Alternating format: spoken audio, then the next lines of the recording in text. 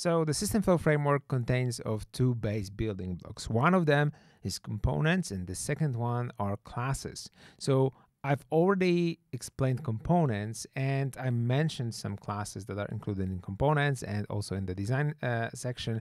But now I'd like to dig a little bit deeper so that you have a great understanding of how to use classes and how to modify existing classes in order for it to take effect across the entire framework. So in the design section, you have typography and color and spacing and layout classes. And those classes I explained while explaining documentation. Now let's see how they work in real life examples. And let's create the first component here. Actually, I'm going to use an existing hero video component. Let's select this hero left one video component and now unlink the instance. So this is usually the first thing that I do. I unlink the instance and now I can preview all of the components and uh, individual elements that are within this component. If you select them, you can see that here we have heading XL class. And for the other elements in here, you have other classes that we've listed in typography. So heading XL is here. Uh, it has the specific font size. It also has the spacing that we've applied to it. And uh, every element that you'll apply heading XL co combo class to will behave in the same way in, in terms of styling. So we try to be extremely consistent in the framework with the usage of the classes. And you can be sure that all of the components that we've created for SystemFlow are using those classes uh, explained in the documentation. So this is really powerful because right now you can either create new elements and apply the classes so that they have the consistent styling, or you can change the classes and then they will change throughout the whole framework.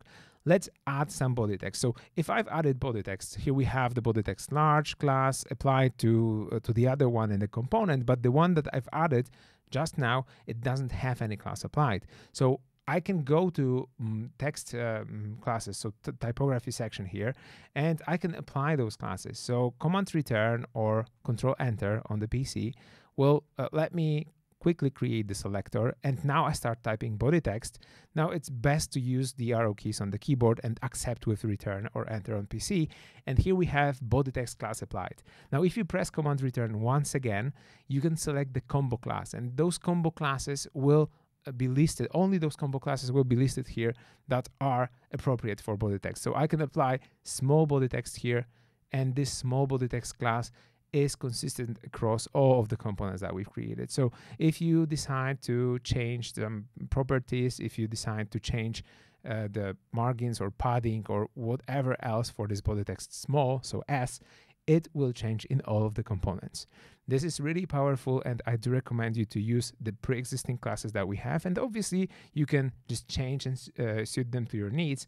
Those classes are made for colors as well and as you know, in CSS, you have different CSS properties for color of the background and different CSS properties for text color.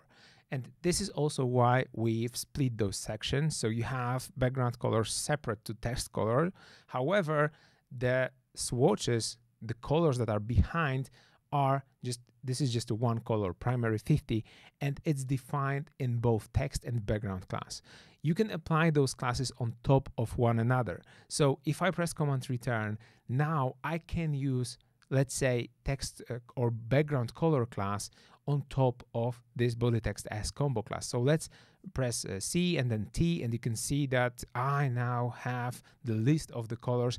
I can apply color text primary 60 on top of that and this will change to my blue uh, swatch color. Also, let's say I want to change the background of this body text now. So I'm going to press command return once again, search for CB, so color background, and now select with my keyboard arrows, let's say error 10, and you have this light uh, red color applied as a background for the body text. So this is how you can uh, use those classes. I also have a class for text align center, which is TAC in short.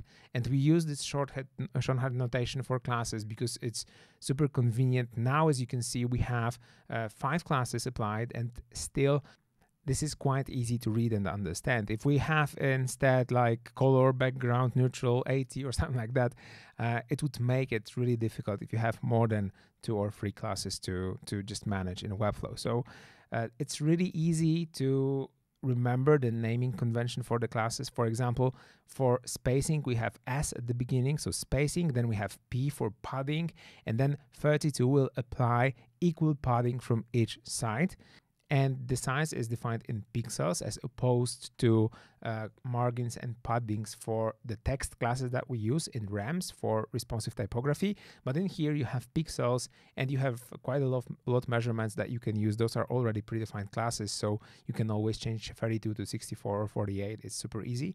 And you also have uh, axes, so Y and X, and you have top right, bottom left, so that you can apply different classes for different effect that you want to have here. So let's uh, apply another class on top of that body text and that would be spacing, margin, and you have all the margins in here. So let's say 128 and that would add 128 margin from each side actually.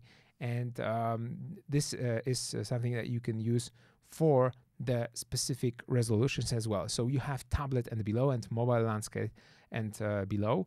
So if you want to use uh, the specific padding or margins only for let's say mobile on, or mobile landscape uh, breakpoints, you can do it with the specific class. This is pretty useful because oftentimes we find ourselves adding just a different padding for mobile versions and you can do it with one class. You don't even have to go to this mobile version and tweak it.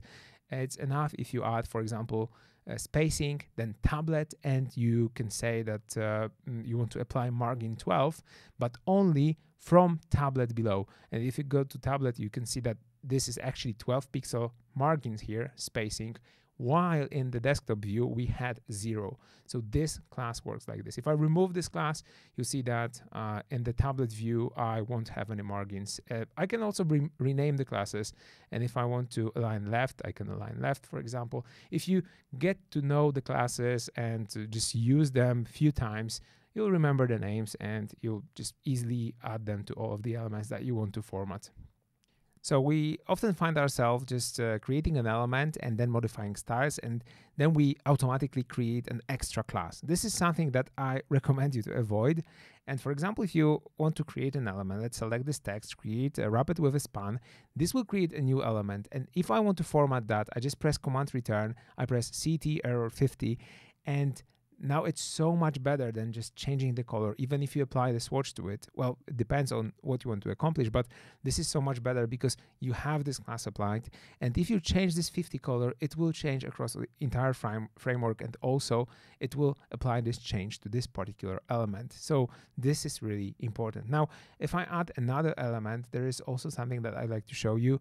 How uh, to modify the classes. Do you like go to the documentation first or maybe to the customize page and first apply all the properties to all the classes or you just do it on the fly. Well you can do however you like. You can go to customize you can go to any page that we have in the docs and then click on the elements in the docs and then, then apply the changes.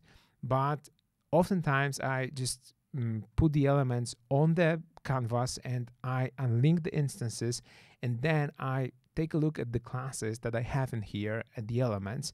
And if I want to change something specific, I just change it. So if you are more systematic and you want to apply some design uh, style uh, style guide or maybe a system design system uh, at the beginning you can do it but if you want to just create a landing page from the design it's sometimes better to just you know drop the elements on the canvas then select those um, classes and change them accordingly. And you can see that when i select the body text large and change it to medium it will change everywhere because everywhere we use this body text large class. So sometimes working on the canvas on the you know ready-made page that you create is so much more convenient. Now we have the combo classes here so body text large and body text extra large and stuff like this. So what if i just want to apply those settings to all of the headings. It's enough to remove the class and now all of the headings, they share this heading class. And we did it on purpose, so now you can easily change the properties of all the headings within one class. So let's apply 48 pixel margin on top of each heading, small, medium, large, and extra large. And then let's reuse this combo class again. So I reapply the XL, but the heading class has been modified. And now it has 48 pixel spacing, both for heading XLs and heading large and small and, and all the other ones. So this is how you can just work with the combo classes and apply those settings to whatever class you want. And then just mm, in case you want to reapply the combo class, you can do it. So uh, one more thing I'd like to mention if you don't want to spoil the class that's already existing. So if you add an element and have a particular styling for this element only, but you base on the heading, for example, and you copy and paste it, my recommendation is that you use on top of that some other extra class. So if you add my class, one, two, three, whatever name on top of this as a combo class, now the changes that you apply to the styling of this element won't count in terms of uh, the, the structure of the headings that you have on the side. So this will be very specific uh, styling changes to the element that you want to modify. So this is probably something that you will do for the individual elements that are just you know one of uh, of the kind and you don't repeat them uh, across your layout. If you repeat them uh, you can also do it like this, but then just make sure that this my class name is not that generic, that you have a specific name of that class that you will then reapply to, let's say, headings. And also be careful if you apply any other class on top of that your class, because now you are not editing my class, you are making the edits to text align left class, and this will propagate to all of the classes with text align left. So this is this can be really tricky. In order to apply it to my class, you have to first remove this text align left class, then apply changes, and then reapply the combo class. So yeah, sometimes it's a little bit tricky, but if you just uh, work it out, if you just use uh, some combo classes of your own, I think that you'll get it.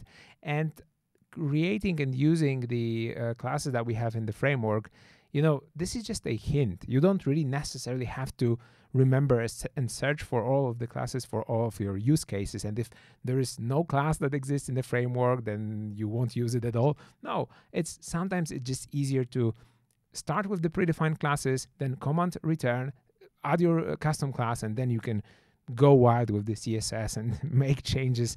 Usually you'll make them to the, you know, this one specific local instance. But remember that our framework it is just a guidance for you. It's something that you can tweak and modify.